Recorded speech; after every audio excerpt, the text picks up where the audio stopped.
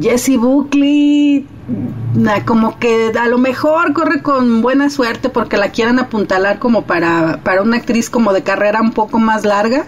Después de, de esta película de, en la que participó en Netflix, ah, ¿cómo se llama? Pienso en el final. Entonces a lo mejor por ahí. Y Judy Dench, pues a lo mejor se lo dan así como por, por tradición. Capaz que no llega el próximo año. Cállate. Bueno, ya no sabemos. ¿Qué ha hecho esta Jessie Buckley?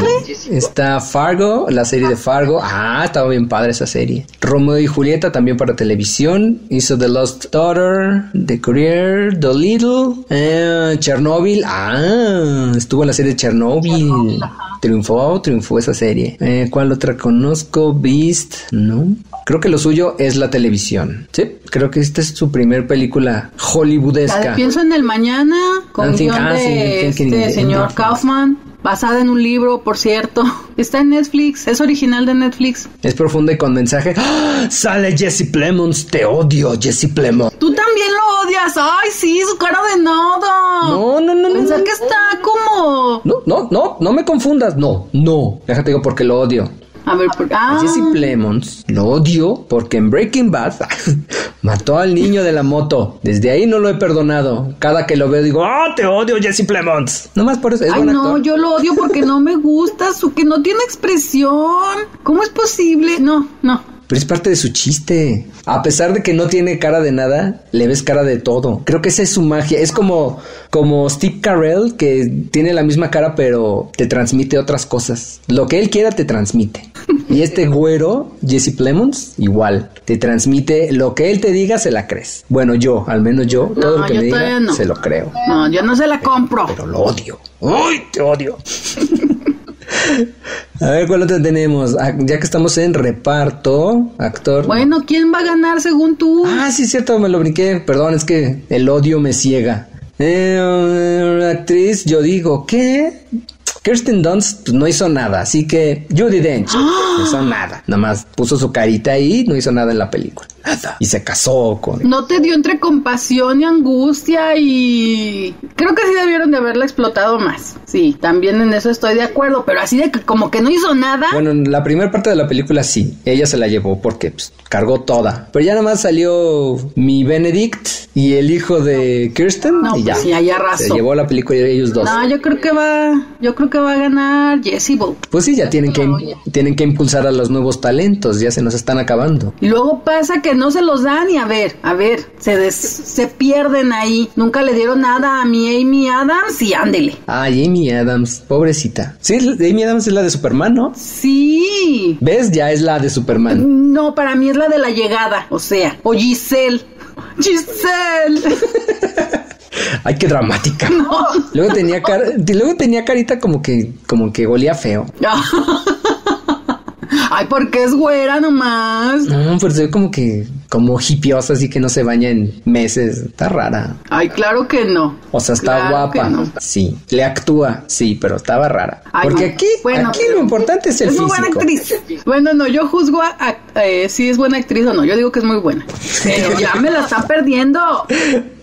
Te la desaprovechan. Me la desaprovechan, sí, no, no. no. Pobrecita Amy Adams. De, de actores de reparto está Ciaran Hines de Belfast, Troy Kotsur de Coda, Mm. Tu amor que odias y amas, Jesse Plemons te odio, de The. Power of the Dog, J.K. Simmons de Bing de Ricardos, que esta se estrenó en línea, y Cody Smith McPhee de Power of the Dog. Cody McPhee, que para los que les gustan los cómics y las películas de Marvel, él fue eh, Nightcrawler y estuvo bien fea.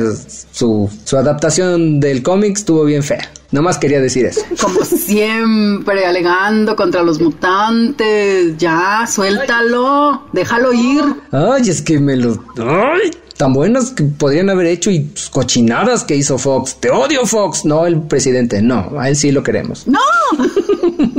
El actor de reparto. Bueno, yo aquí pienso que va a ganar el Cody Smith McPhee. Tan solo por el final de la película, yo creo que sí. No, si está de alarido el final. Sí, no, ma, no, esa no la vi venir. Dije yo, ah, va a pasar lo que creemos que va a pasar. Y no pasa otra cosa. Yo, yo pensé que en cualquier momento el, el vaquero se iba a poner payasón y no, dale. Dijimos, algo le va a hacer al muchachito. Y tómala. Maquiavélico el escuincle. Shh, no cuentes más, por si no la han visto. Y al final, con una reata. No, hombre, ya no les cuento. ¡Ah! Cualquiera de las dos cosas que piensen, puede ser. Sí. Eh, yo te apoyo. Seguramente Cody McPhee ganará. De eh, actor, en el rol principal están Javier Bardem por Being the Ricardos, Benedict Cumberbatch por The Power of the Dog, Andrew Garfield, que también lo has de amar, por Tic Tic Boom, Will Smith por, por King Richard y Denzel Washington por The Tragedy of Macbeth. de tra tra- esa no sabía que lo había hecho Denzel. Sí, es una nueva, este, que es solo para plataforma y que de hecho sorprendió mucho que no nominaran a Frances McDormand, que ella es Lady Macbeth. Y es una película de los hermanos Cohen. No, creo que de solo uno de los Cohen. Está filmada en blanco y negro. El, yo nada más he visto el tráiler y la verdad sí está, está potente. Y también es de época, supongo, no está actual. No, es, es, no, no, no. Entonces, ¿por qué no lo nominaron a vestuario? A ver, ¿no? y hubieran aprovechado. No, que no es de época. ¿Ah, no? No. Ah, es una actualizacionidad. Sí, deberías de ver el tráiler que está así como muy, muy, muy sobrio, todo en blanco y negro, este, muy minimalista todo. O sea, sí tiene un rollito de vestuario, pero no está así con la pomposidad y... No es, no es No. Shakespeare. Ah, ya la vi. Ya vi fotos. ¡Hala! Oye, sí parece teatro de verdad. Y Benedict Cumberbatch podría ser, podría ser. Andrew Garfield, ojalá. Ahorita que ya todo el mundo lo quiere, ojalá. ¿Sí viste Tic Tic Boom? Mm, No me gustó. Está como... mm. Ah, está bonito. Es que no tienes corazón, ¿ves? Bueno, es que Andrew Garfield es, es buen actor, pero... Híjole, eh, le hace falta darle al clavo a una historia buena. Yo creo que esta es una de las que lo podrían catapultar, porque es como es de la edad, es, tiene la energía de necesaria para el papel, tiene el tipo, tiene su carita de loco, como, como buen artista tiene su carita de loco, canta, no sabía que cantaba, le baila, pues sí, y aparte me acabo de enterar que es inglés. Es tu vecino de al otro lado, no lo veías inglés. Bueno, ¿quién crees que va a ganar? Yo creo que Denzel o Benedict. Yo voy porque el Benedict. Y nada más por el final que no les voy a contar. Es más, no vean la película, ven el puro final. y luego la vuelven a ver para que sepan, luego que la vuelvan a ver para que sepan desde dónde venía planeando este niño. Ay, niño. Ay, te odio, niño. Estaba leyendo una entrevista con, con la directora y dice que, que hay partes que son totalmente este, improvisadas, sí, que ella le dio así como el, la confianza total para que pudiera improvisar. Pues sí, muy bien, les quedó muy bien. Entonces estamos de acuerdo en que Benedict ganará. Y de actriz, Tú una y yo una. Jessica Chastain por la película The Eyes of Tammy Faye, que no tengo el gusto. Olivia Colman por The Lost Daughter. Olivia Colman me suena. ¿No es la que hizo la de la reina? La es, ajá, es la reina ahorita en The Crown y este en la otra Va reina. a salir en una serie de Marvel, así que por eso me suena. Oh, no sabía. salir en Secret Invasion. Ahí va a estar ella. Y va a salir la de, mm, de Game of Thrones. Una de las de Game of Thrones. Una de las muchachas. Ahorita no me acuerdo cómo se llama. Pero fíjate, dije, le van a invertir para tener una cara más famosa que, que Samuel L. Jackson. No, y una buena actriz. Me sorprendió bastante gratamente. La otra nominada es Penélope Cruz por Parallel Mothers o Madres Paralelas. Nicole Kidman por Being the Ricardos. Qué, qué buena le quedó Mure Nicole. Yo dudaba de ella en esta película. Porque yo dije, no, ni se parece. Nah, nah, mejor que esté la de Will and Grace. Sí, ella sí se parecía. Y no, me sorprendió bastantemente tu Nicole Kidman. Y es que Nicole Kidman ya la puedes moldear para que quede.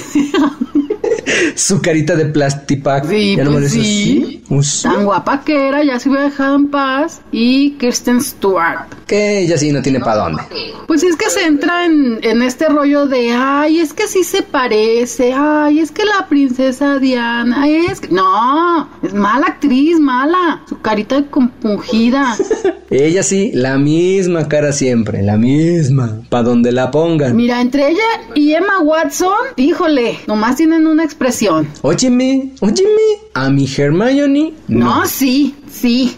Mala actriz como... Pero está bonita. Ella sí, fíjate, está bonita.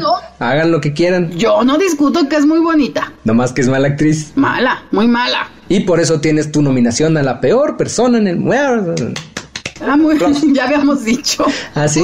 Sí voy a ganar. Ya, ya, ya, ya la llevas. En este, no, en esta terna, ¿quién crees tú? Yo creo que Nicole Kidman. No, no, no, no, no, no, no.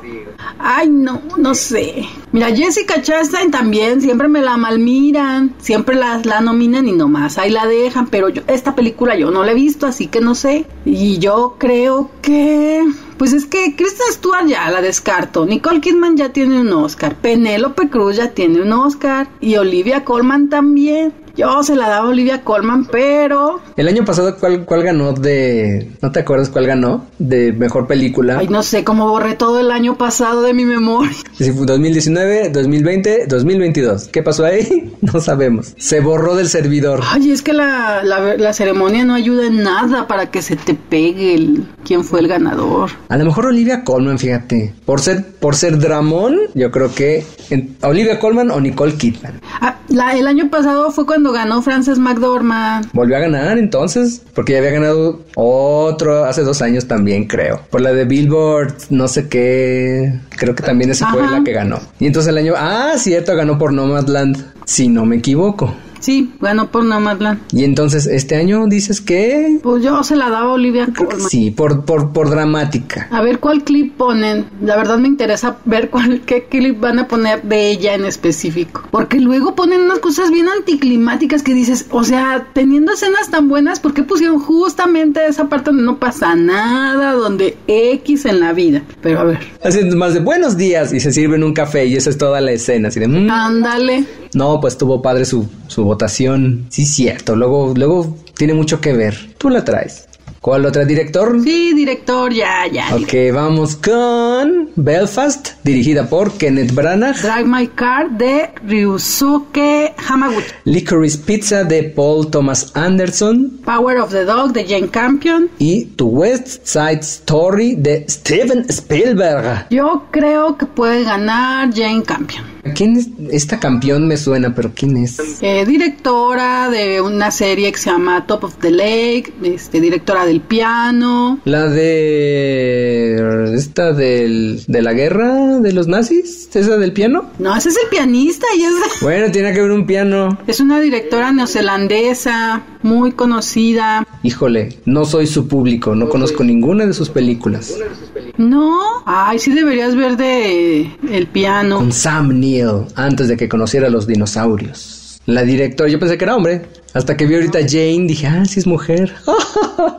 Sí, pues de hecho ese es como como el por lo que tiene altas posibilidades de ganar por ser mujer. Ya ves la corrección política. Es una excelente directora, yo se lo daría, no por ser mujer, sino por ser una excelente directora, pero este ahí puede puede ser lo que le dé el gane. Un punto extra por participación. Híjole, más que Kenneth. Sí, luego Kenneth Branagh, pues. Eh, eh, bueno, hizo Thor, Kenneth Branagh. Pues es egocéntrico el, el señor. Mira que dirigirse su propia película, no cualquier. Paul Thomas Anderson, pues tienes que estar muy de, de humor para ver sus películas, así que. Obi. Yo creo que está entre ella y Paul Creo Thomas. que igual que tú, entre Paul Thomas Anderson Sí. Yo yo dije que Paul Thomas Anderson y Jane Campion. Pero yo se la daría, yo creo que a Jane Campion. Yo también se la daría a Jane Campion, porque está bien padre su película. Porque al final, No, que ya no cuentas. no manches, qué cosa pasa. Ay, no. Bien traumas tú con... Ay, es que los niños, los niños cuando hacen esas cosas me estresan. Me estresan de qué miedo. La última. Y para mejor película, los nominados son Belfast, Coda. Don't Look Up. Drive My Car. Y, y- y Dune. King Richard. Licorice Pizza. Nightmare Alley. The Power of the Dog. Y West Side Story. Chan, chan, chan, chan, chan. De todas estas antes mencionadas, solo he visto Coda, Don't Look Up, Dune, eh, The Power of the Dog. Y empecé a ver Nightmare Alley, pero la del 74. Porque parece que a fin de mes se va a estrenar, se va a estrenar en HBO la de Nightmare Alley. Así que pues nos esperamos, ¿verdad? Pues ya